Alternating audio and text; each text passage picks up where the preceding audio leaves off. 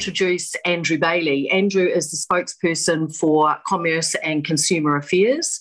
Um, Andrew is going to say a few words and then um, we'll hand over to Richard to have a bit of a fireside chat with, uh, with Andrew. So over to you, Andrew. Good morning and welcome.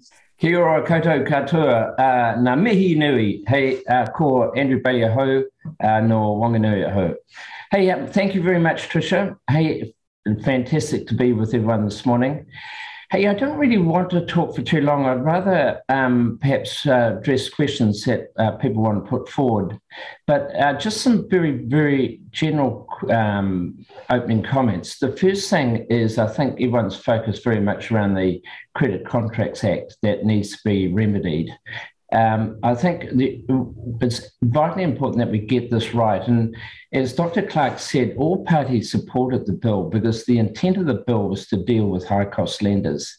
Where we have ended up through the regulations is actually capturing everyone in, to, in terms of both the regulated financial institutions such as banks and credit associations, but uh, right through to uh, the high cost lenders. And I think the balance there is wrong. We've put up a bill uh, as a way of trying to suggest how we might fix it quickly. Uh, and we just hope that we're going to be able to be part of that process because we do need to get it right. We need to make sure that people can get credit, but also uh, we protect the vulnerable, which was meant to be the intent of the bill.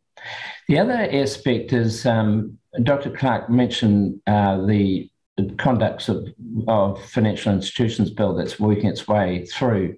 Uh, that's currently before select committee um, before it goes back into the House for, for a second reading. My my bigger issue that I have is that um, how the construct of the regulations for the financial market have been put together. So, if you take the Triple C FA, we've got FMA um, who, uh, sorry, we have um, MB who've written the, the rules, and we've got the Commerce Commission who've been talking to all the institutions about how it's going to be enforced. Then we've got the Conduct of Financial Institutions Bill, which is going to be under the jurisdiction of the FMA. What I'm worried is, first of all, the focus. So both bills or acts will require things of regulated financial institutions, which are also regulated by the Reserve Bank, but only the um, only the triple CFA will focus on uh, high cost lending. And then we've got the uh, differences between what uh, certain regulatory organisations will want. So, if, when uh, the Conduct of Financial Institutions Bill comes in, uh, institutions will be required to lodge their code with the FMA. So we've now got FMA, we've got uh, MB, we've got Commerce Commission, we've got a Reserve Bank with a certain role as well. I'm concerned that the way that everything's been constructed is actually not that um, helpful. And actually, I don't think we've taken a strategic view on how we should regulate financial institutions. And I think um, that's that aspect. But also, um, I heard Dr. Clark talking about KiwiSaver, and obviously that's very important to members. I think it's really important. Uh, one of the things is uh, I'm vitally concerned about the lack of investment by normal or ordinary New Zealanders in uh, retire, uh, saving for their retirement. Uh, as most of you will know, the average balance is under 30,000 uh, in KiwiSaver accounts. And we need to make sure that we're getting people to save for their future. And I think that's a crucial thing for New Zealand. Uh, the way that women are treated, um, how young people starting out in work are, are treated and encouraged to join KiwiSaver, I think are crucial points. And the last and third point I just want to touch on I'm very, very uh, interested in how we make sure we've got the continuum across the capital markets right. So, what I'm talking about is how we start with angel investment, how we're going to VC, venture capital, private equity, expansion capital, right through the stock exchange. Uh, and so I think there's a whole lot of different aspects in each of those components we need to be looking at how we do. You know, the obvious one is that the uh, New Zealand Stock Exchange, we need to put in place the capital markets report recommendations. But I think there's also a lot more we can do around at the beginning cycle of businesses around protecting their IP and doing things like, such as that, because we just need to make sure we get capital markets functioning really well in New Zealand. Hey, so um, that's all I want to say. Why don't we open it up and, and uh, have a few questions? Brilliant. Thank you, Andrew. Thanks for your opening comments. Um, you speak about um, the vision um, for the financial services sector and perhaps rethinking that. What, what, does that look like from your perspective? Uh, so, just that was the last point I was talking about. Is that what you mean by that, Richard? Yeah, kind of the, yeah. the vision, the settings, the the yeah. architecture of the of the sector, I guess. Look, um, uh, obviously, some of you know that I sort of have a merchant banking background, so it's an area that I've worked in pretty closely for a long, long time. I one of the big issues with New Zealand is we're not particularly we're very innovative, but we're not particularly good at commercializing opportunities. I'll give you an example. I went through Scion Research Institute in Rotorua recently, and I know I know the CEO, he was an old client of mine, but I said to him, there was a piece of sort of plastic there. And I said to him, What's that? And um, Dr. Elder said to me, Oh, that's a piece of plastic that we've um, developed here in Scion. What we've done is remove the, the component of the plastic that um, uh, gives its longevity and replace it with a timber compound. And that means that that plastic could be put and molded into a um, thing that you could put in your leg, like a hip replacement. But also at the end of the life cycle, you can burn it. And I said to Julian, Isn't that sort of revolutionary? And he said, Yes.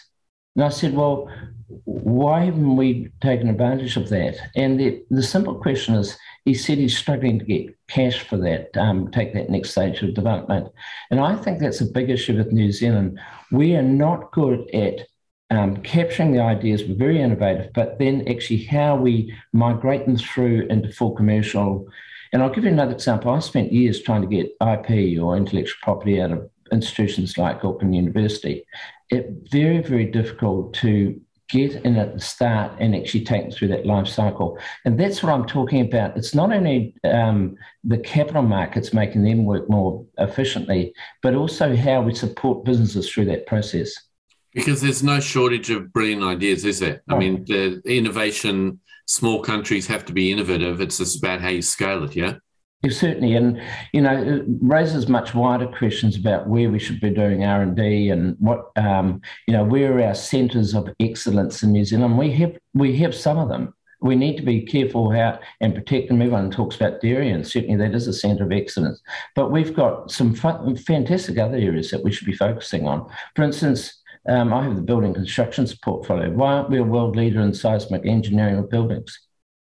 You know, we're right on the uh, plate, Pacific plate. These are the type of areas that, as a country, we need to be much more strategic about how we grow and, and actually take advantage of some of the natural advantages we have and the people, of course, which is um, where it all crucially starts from. Andrew, just um, thanks for that. Just segueing into the KiwiSaver conversation and, and the reframing of KiwiSaver. I mean, what's your what's your take? What's the what's the National Party's view on we're 14 years old? It's time to to look and relook at certain settings. Uh, picking up your point around uh, women and um, the, some of the work interruption patterns and how KiwiSaver does or doesn't serve that sector. Uh, the question on young people question on fees. What, what are the things that your party would do uh, should you get into office? Hey, well, first of all, um, I support what the government's done uh, in terms of rebalancing um, away from conservative. Those those those things that have been done, we're very supportive of that, and they need to be done. Um, but I think that we've still got a, uh, a major issue um, as an MP, and I mentioned all uh, elected MPs have faced the same issue, is hearing the stories of the young uh, lady hairdresser trying to join her business, and I'm not trying to pick on the hairdressing um, salons particularly, but as an example, and been, uh, when asked whether they could join KiwiSaver, in many cases, um, people say or employers say, "Well, if you want to do that, it's going to come out of your wage." Now that that is a disincentive at an early age to get people investing for their future and, and saving for their future. I think that's one of the issues is a major issue. The other big one, and you know, there's a lot of success with KiwiSaver, but one of the things that um, you know, I think the figure is about 75% of people ha- have enrolled, but a big chunk of people who haven't are actually local uh, uh, contractors, uh, small business owners who all think that they're going when they sell their business they're going to make a fortune. Well, I spent 25 years doing M&A work, and often that's not the case. We need to make sure that everyone gets involved in KiwiSaver.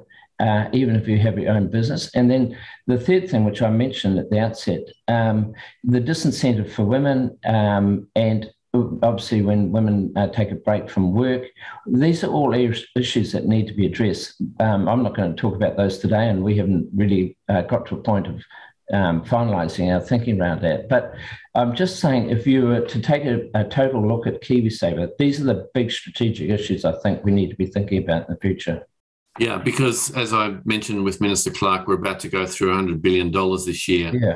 in total assets, which is a significant pool. Um, and you kind of mentioned the you kind of mentioned the uh, disengaged, the enrolled, but not contributing part of the community because uh, my business is my super fund kind of idea. Yeah.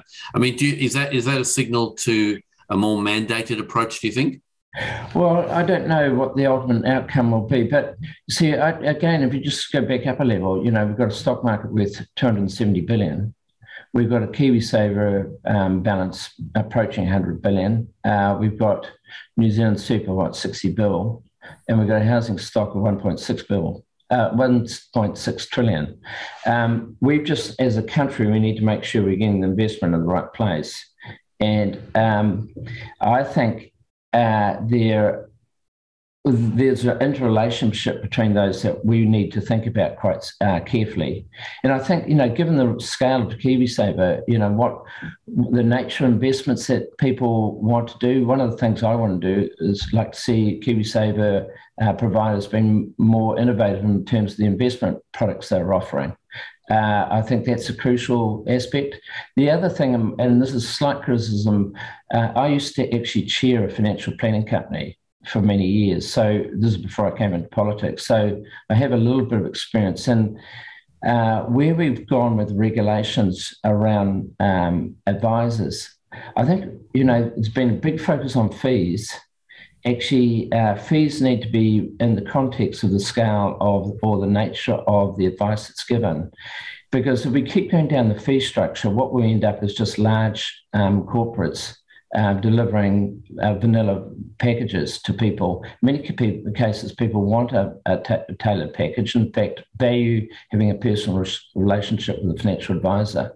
And the balancing around how we make sure that advisors have an environment where they can advise and yet make sure that the advice they're giving is uh, prudent, practical, and appropriate to that person.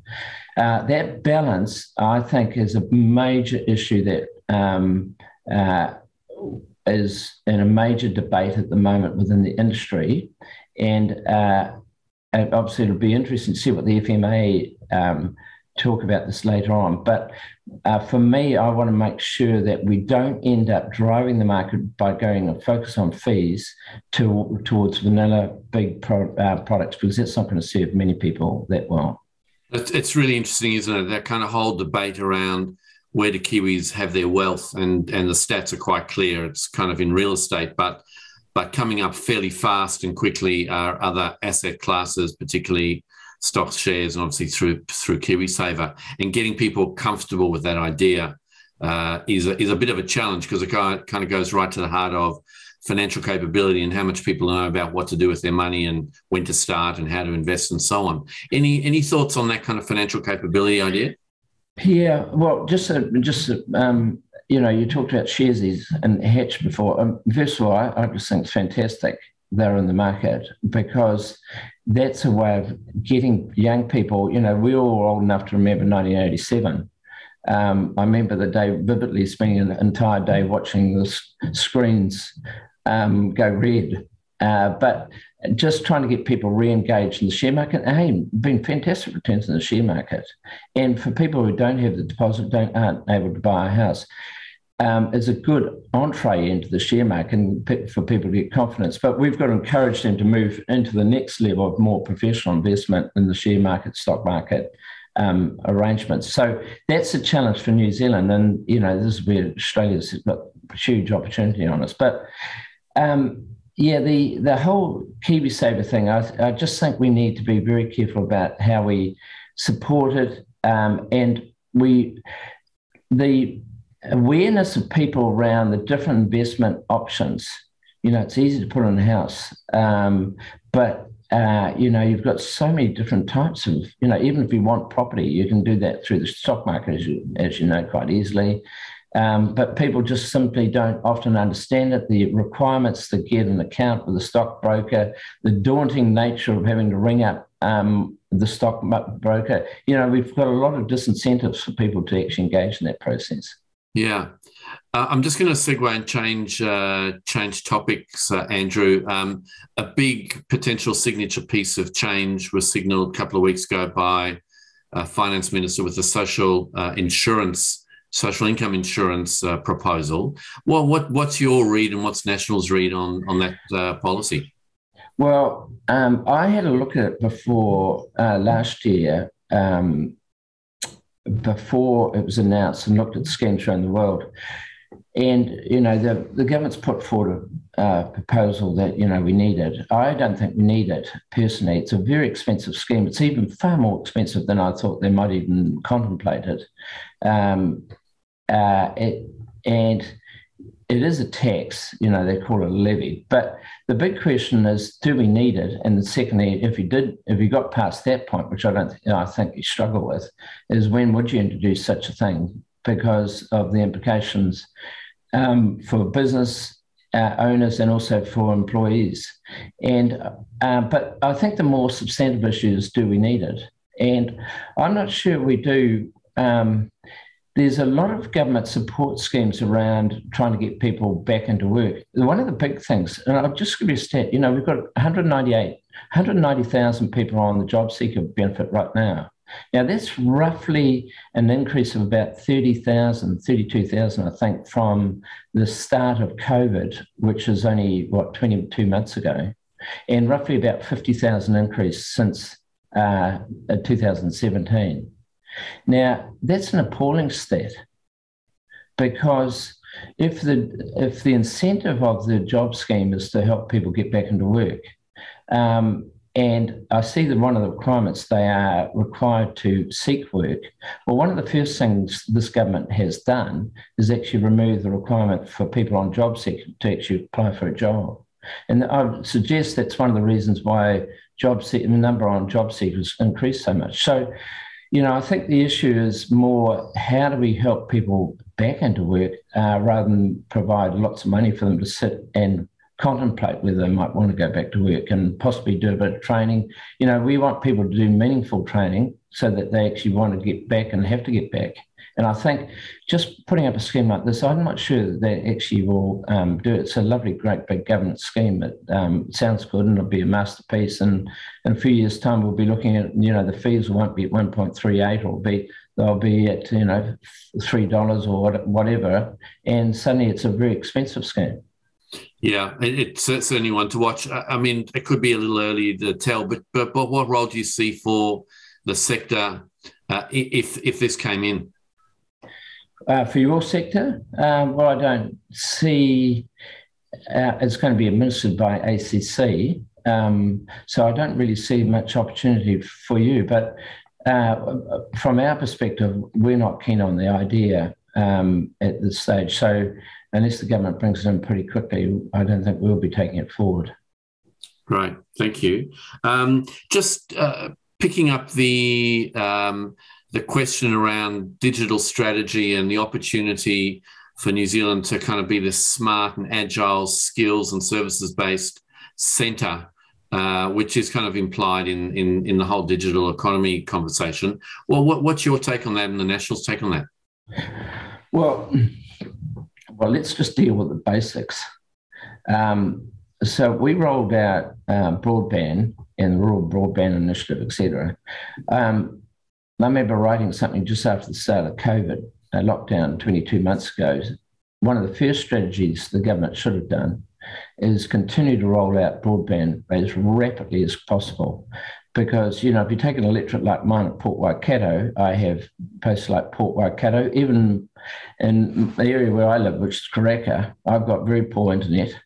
Um, but by the time I go in, down into my deep farming area, um, uh, the internet is dreadful. So the idea that people can sit at home or work from home, um, first thing, put the network in. And I think uh, that if personally, I, if I'd been involved, I would have been agitating incredibly hard to make sure we got the backbone, the network in place.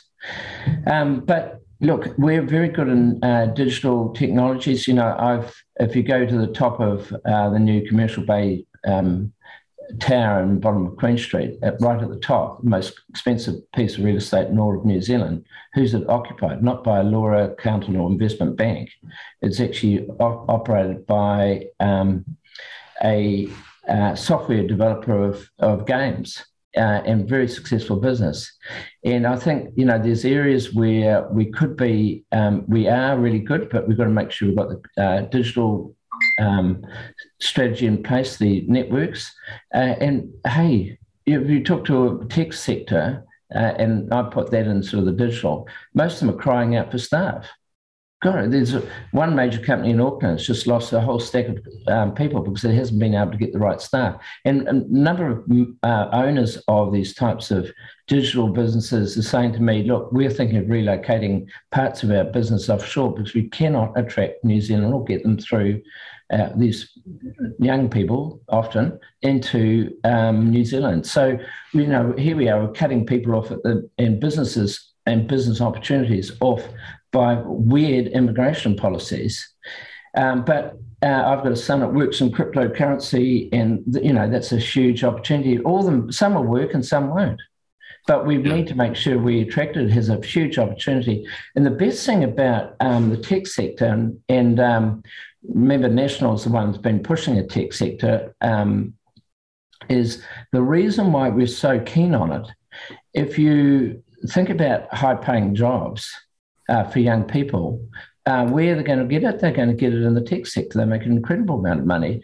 And by the way, it's very good for attracting Maori, Pacifica, um, because you know that's the innovative something that's quite unique to New Zealand. Those types of skills that those people bring to the industry are fantastic. So we should be embracing it. But you know, you got, just got to put the building blocks, and this is this is the difference between having a wonderful aspiration. We're going to be a digital hub and actually sat, well, sitting there and going, well, what are the building blocks I've got to put in place? And I just don't see that happening. And that's probably a nice way to ask you the final question, uh, Andrew, and that's that's this kind of outlook uh, question, um, which is uh, reflective. How, how's the last couple of years been for you personally? But where do you think we're going to be in twelve months' time? And obviously, against that backdrop is a is a pretty um, intense political um, situation. But there's obviously lots of high stake calls that uh, government needs to make, and that obviously national will need to debate uh, accordingly. Yeah, where do you think we'll be in 12 months?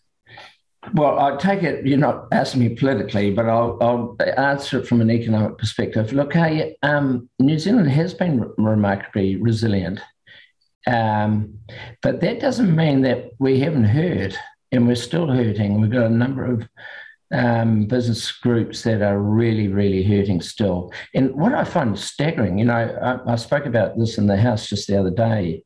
Um, the divide that we've got in New Zealand, I find appalling. You know, between vaccinated and unvaccinated, between Maori and non-Maori. Um, for those who've owned a house and who don't own a house, um, I find that troubling from a uh, New Zealand perspective because you know I can see it out the front door of Parliament here that divide is something that's going to take a long time to heal, unfortunately.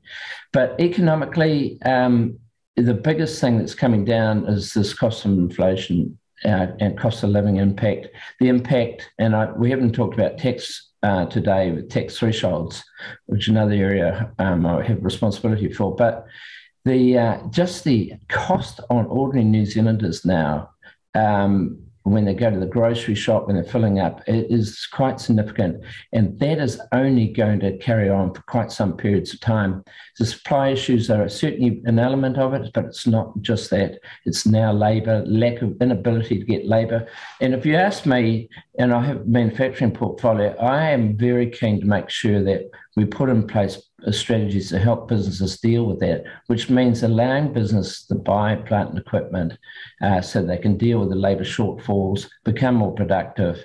And we just need to be in that game of making New Zealand um, much more, uh, well, less reliant on immigrants, but actually more productive at the same time. And so those are all the sort of things we're going to have to face and deal with. But um, we uh, at a at a social level, I think we've got huge divisions, which really, really worry me. Yeah, I, th- I think big challenges in front of us. And uh, Andrew Bayly, a huge thank you. Um, thank you for joining, and uh, and to Minister Clark as well. It's been fascinating to see uh, the Minister of the Portfolio and uh, and the national view on commerce, consumer affairs, and a much more macro view. Uh, so, to the audience out there, um, a really fantastic uh, political start to the summit uh, today. Uh, Andrew, again, huge thank you, uh, and really look forward to continuing to work closely with you in your portfolio uh, into the, the, the, months and years, years ahead. And with that, um, let me hand you back to Tricia to formally say thank you, and then we will continue on with the program. Thank you again. Thanks, Richard. Thank you. And thank you, Andrew. And thank you, Richard. Look, I think we'd all agree, um, Andrew and Richard and um, our, our, participants on the call, that the financial advice sector is continuing to undergo significant change. So it's important that we engage with the government and the ministers um, to provide you with some guidance and um, I guess on, on the key topics that are of interest and of concern to our the FSC member base. So thank you, Andrew, and thanks to Dr. Clark, both of you, for your time this morning and your observations. Um, enjoy the rest of your day, Andrew. Thank you. Thank you. Bye.